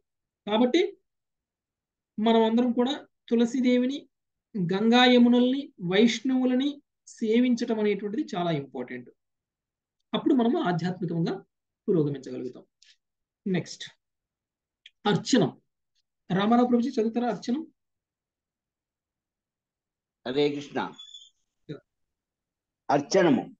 పాదసేవానంతరము వచ్చినది అర్చనము.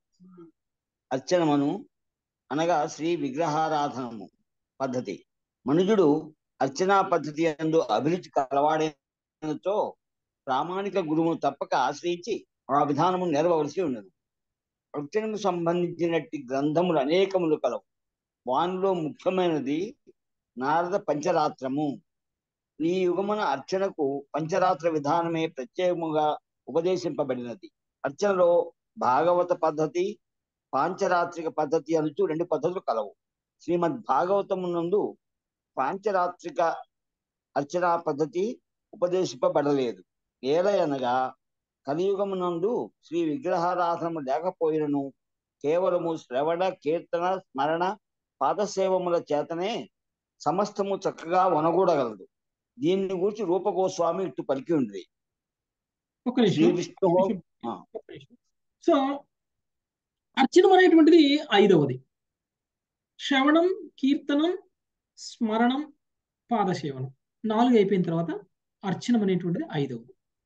అర్చనము అనేటువంటిది యాక్చువల్గా చూస్తే ఒక్కొక్క యుగానికి ఒక్కొక్క రకమైనటువంటి విహిత కర్మలు ఉంటాయి. అలా చూస్తే అర్చనము అనేటువంటిది కలియుగానికి సంబంధించినటువంటి విషయం కాదు. ద్వాపర యుగంలో అర్చనాలు చేసేవాళ్ళు. ఆ త్రేతాయుగంలో ఆ తపస్సులు చేసేవాళ్ళు. ధ్యానాలు చేసేవాళ్ళు. అంతకు ముందు యుగంలో గొప్ప గొప్ప తపస్సులు చేసేవాళ్ళు. యజ్ఞాలు చేసేవాళ్ళు. సో అలా ఆ ఒక్కొక్క యుగంలో ఒక్కొక్క రకమైనటువంటి భక్తియుత సేవా కార్యక్రమాలు అనేటువంటివి ఉండేవి. అది అర్చనం అనేటువంటిది ఎలా చేయాలి అంటే పాంచరాత్రిక విధానం ద్వారా అర్చనం చేయాలి.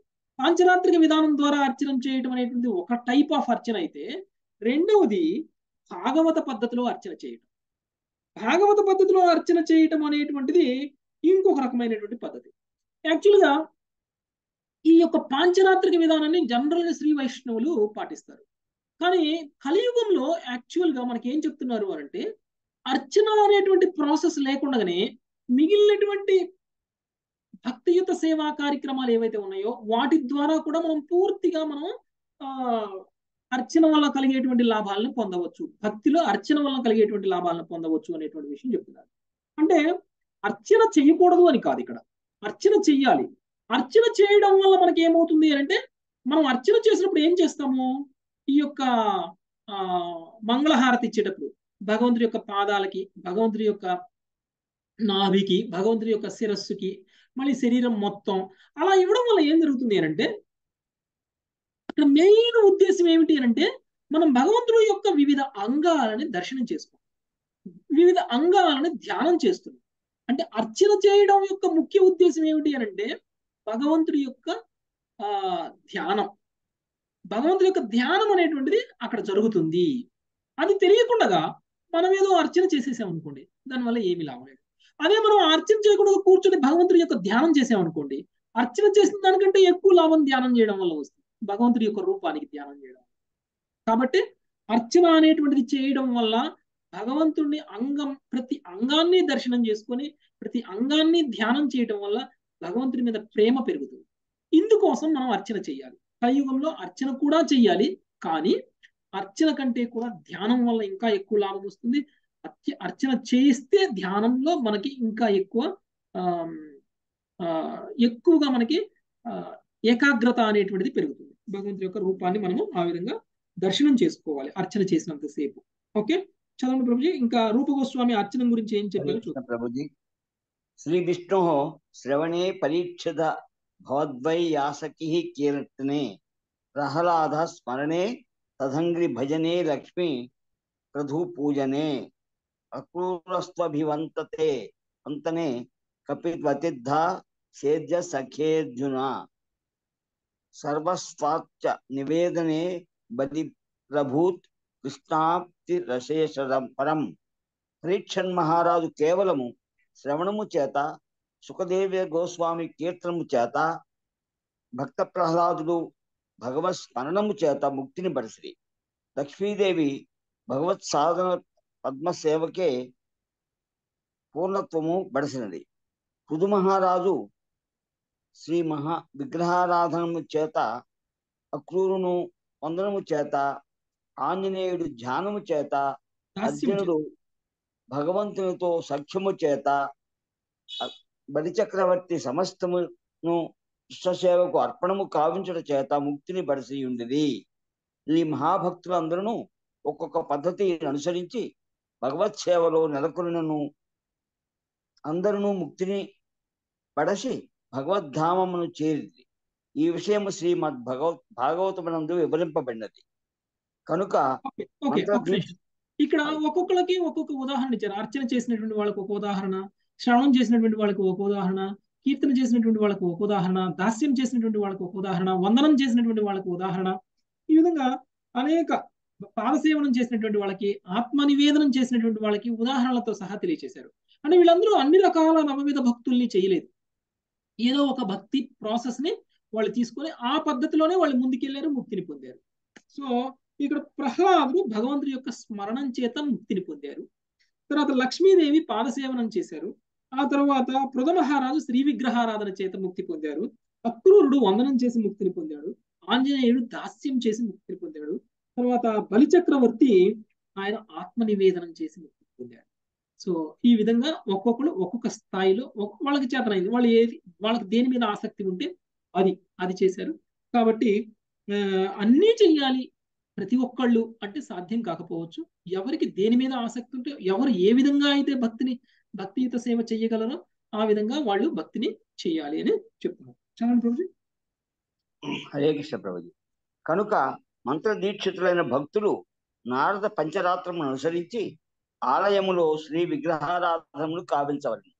ముఖ్యంగా ఐశ్వర్యవంతులైన గృహస్థ భక్తులకు శ్రీ విగ్రహారాధన పదము గట్టిగా ఉపదేశింపబడినది. ఐశ్వర్యవంతుడైన గృహస్థ భక్తుడు తన కష్టార్జితమును భగవత్ సేవలో వినియోగించకున్నతో పిసినారి అని పిలువబడును. దేవత అర్చనకై జీతభత్యములు నిత్య బ్రాహ్మణులను వినియోగింపరాదు.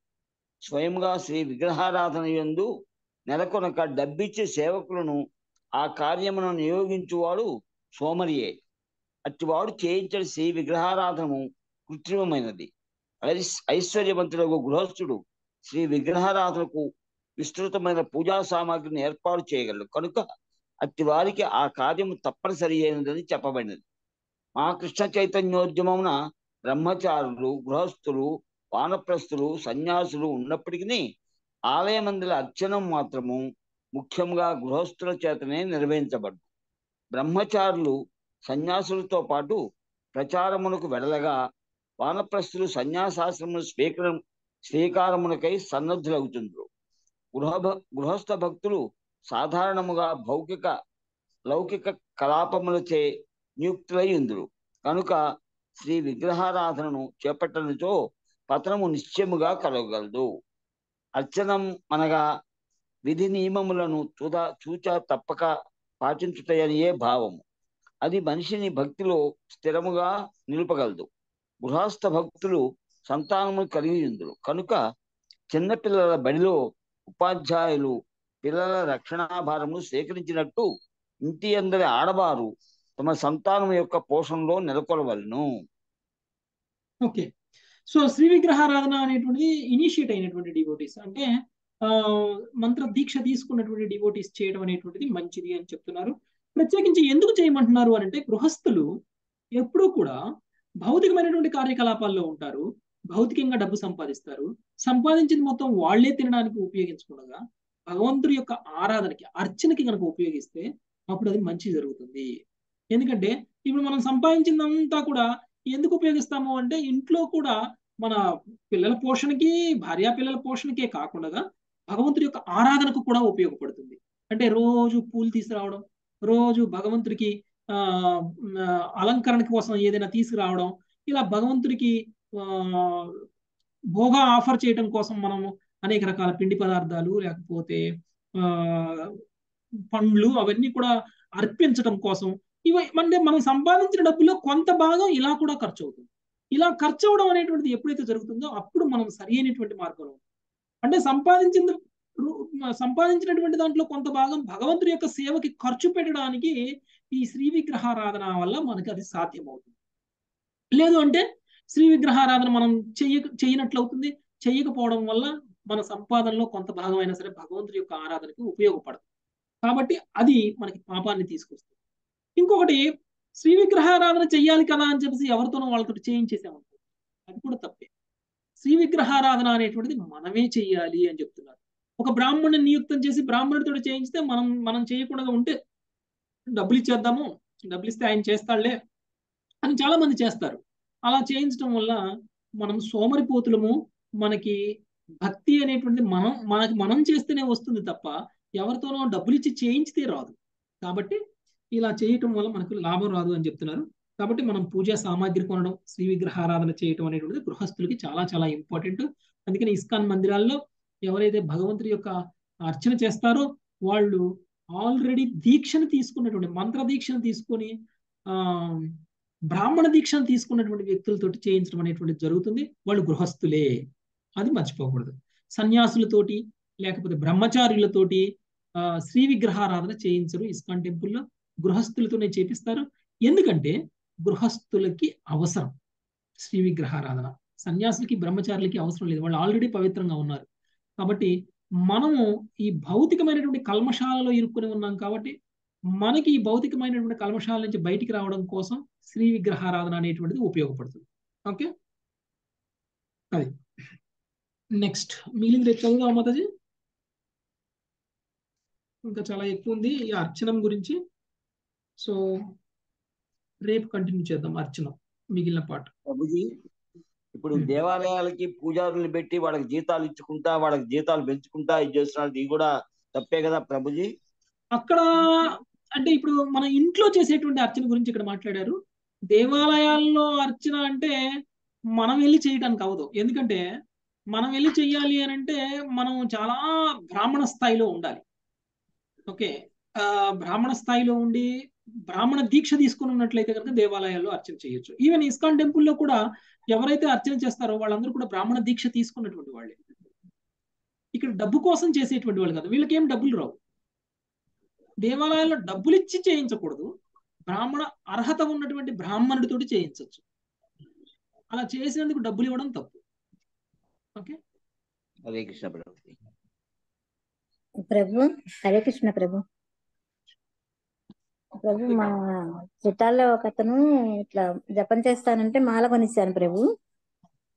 అయితే తను ఫస్ట్ హరే కృష్ణ మహామంత్రం చేశాడు. తర్వాత తనకి కొంచెం పెరాలసిస్ లా వచ్చి నేను మొత్తం చదవలేను అత్తయ్య. నేను అంత ముందు నుంచి ఓం నమో భగవతే వాసుదేవాయ చేస్తున్నాను అది చేస్తానని చెప్పని అన్నాడు ఇంకా అప్పుడు నేను ఏదైనా విష్ణునామమే కదా అని చెప్పని అన్నాను కానీ ఈ రోజు మనం చదివిన దాంట్లో అది మీరు చెప్పారు. అది ఆ కాలానికి ఉపదేశించబడింది అని చెప్పనానని ఇష్టం లేకపోయినా నచ్చిన నచ్చకపోయినా రుచి కలిగిన రుచి కలగకపోయినా హరే కృష్ణ మహామంత్రమే జపం చేయాలి. వేరే ఏ నామం చేసినా దాని బలం మనకు ఉండదు ఇంకొకటి ఏ నామమైనా సరే గురువు ద్వారా తీసుకున్న తర్వాతనే దాని యొక్క బలం ఉంటుంది. గురువు ద్వారా మనకి హరే కృష్ణ మహామంత్రమే ఇవ్వబడింది కాబట్టి మనం హరే కృష్ణ మహామంత్రాన్ని చేయాలి. తను ఎక్కడ గురువు దగ్గర లేదు మామూలుగా తనకి తన డ్రైవర్ అన్నమాట. అయితే తనకి పెరాలసిస్ వచ్చి కొంచెం నోరు ఇదైంది. అది డ్రైవింగ్ అది వెళ్ళట్లేదు అని చెప్పనానని ఒక చిన్నగా ఒక దాంట్లో వాచ్మెన్గా చేరాడు అనమాట ఇట్లా నేను వెళ్తుంటే నన్ను అడిగారు మాల తీసుకొని చేస్తానని తప్పేం లేదు చేయమనండి. కానీ దానికంటే ఎక్కువ లాభం కలియుగంలో హరే కృష్ణ మహామంత్రం అదే అది నాకు ఇప్పుడు మీరు చెప్పిందే నాకు అది అర్థమైంది. మళ్ళీ నేను తనకి చెప్పాలి కదా అని చెప్పనానని అడుగుతున్నాను. అయితే ఆయన ఓ పది రౌండ్లు ఒక ఐదు రౌండ్లు ఇలా ఒక ఐదు రౌండ్లు అలా చేయమన్నాడు. ఒక రౌండ్ అన్నా చేయమండి హరే కృష్ణ మహామంత్రం స్లో స్లోగా అలవాటు స్టార్టింగ్ హరే కృష్ణ ప్రభుజీ. ప్రభుజీ ఇప్పుడు మార్నింగ్ మంగళహారతి ఇస్తాం కదా ప్రభుజీ. మార్నింగ్ ఎర్లీ మార్నింగ్ మంగళహారతి ఇచ్చాక నైవేద్యం పెట్టాక హరే కృష్ణ మహామంత్రం చదువుకోవచ్చా ప్రభుజీ? లేకపోతే ఫస్ట్ హరే కృష్ణ మహామంత్రం చదువుకున్నాక పూజ చేయాలా ప్రభుజీ? ఎలా చేయాలి ప్రభుజీ? అది నాకు కొంచెం నాకు కన్ఫ్యూజన్గా ఉంది ప్రభుజీ. నాకు టైం మార్నింగ్ అర్లీ నాకు ఫైవ్ థర్టీ వరకు అంతా నైవేద్యం కూడా పెట్టేస్తాం ప్రభుజీ. అది అయిపోయిన తర్వాత జపం చేయండి అయిపోయాక చేయమంటారా ఎస్ అయిపోయాకనే చేస్తున్నాను మామూలుగా. నాకు ముందు ఏమన్నా చేయాలా ఏమి అనేది నాకు ఏం పర్వాలేదు. మీరు మార్నింగ్ లెగుస్తున్నారు కాబట్టి ఐదున్నర లోపల అన్ని అవగొడుతున్నారు కాబట్టి పూజలన్నీ కూడా. అయిపోతున్నాయి ప్రభుజీ. మాతాజీ పూజ ఒక గంట సేపు చేసేటట్టు పెట్టుకోకూడదు మాతాజీ. ఓకే? గంట అవర్ చాలా సేపు చేస్తారు పూజ. అంత ఎక్కువ సేపు చేయకూడదు పూజ. పూజ హాఫ్ అన్ అవర్లో చేసేసేయాలి. అన్ని రెడీ పెట్టుకోండి. ఓకే నైటే రెడీ పెట్టేసుకోండి. ఓకే మార్నింగ్ స్నానం చేయగానే ఒక అరగంట లోపల అయిపోవాలి పూజ. అంత ఓకే ఎక్కువ సేపు ప్రభుజీ చేస్తే మనకి జపం చేసే టైం మిగలదు. అదే అవుతుంది ప్రభుజీ ప్రస్తుతానికి అదే అవుతుంది గంట దాటి చేయడం అంటే అది చాలా ఎక్కువ సేపు చేయడం మాతాజీ. అంతసేపు చేయొద్దు పూజ. హాఫ్ అన్ అవర్ చేస్తే ఓకే అరగంట. అంటే ప్రభుజీ గురువాష్టకం వస్తుంది కదా దాన్ని ఫాలో అవ్వక్కర్లేదా? గురువాష్టకం చేసినా కానీ అరగంటలో అయిపోతుంది ప్రభుజీ గురువాష్టకం చదువుతాను ప్రభుజీ. గురువాష్టకం చదువుతాను. నైవేద్య శ్లోకాలు కూడా చదువుతాను. అయిపోతుంది. అంటే ప్రభుజీ నరసింహారతి తులసి హారతి అక్కర్లేదు. తులసారతి కూడా చేయాలి తులసారతి కూడా కంపల్సరీ. అంతా అన్ని చేసేటప్పటికి ఎంత కనిష్టం ఉన్న ముక్కాలు గంట? పైన అవుతుంది ప్రభు. ముక్కాలు గంటకి ఎంత ఫాస్ట్గా చేసినా కూడా ఈయన ముక్కాలు గంటగా గంట దగ్గర దగ్గర పెడుతుంది ప్రభు నిజంగా నన్ను రెడీ పెట్టుకోవాలి చేసుకుని. ఆ. కొన్ని మీరు ముందే రెడీ పెట్టుకోవాలి. అప్పుడు మీకు తొందరగా అయిపోతుంది.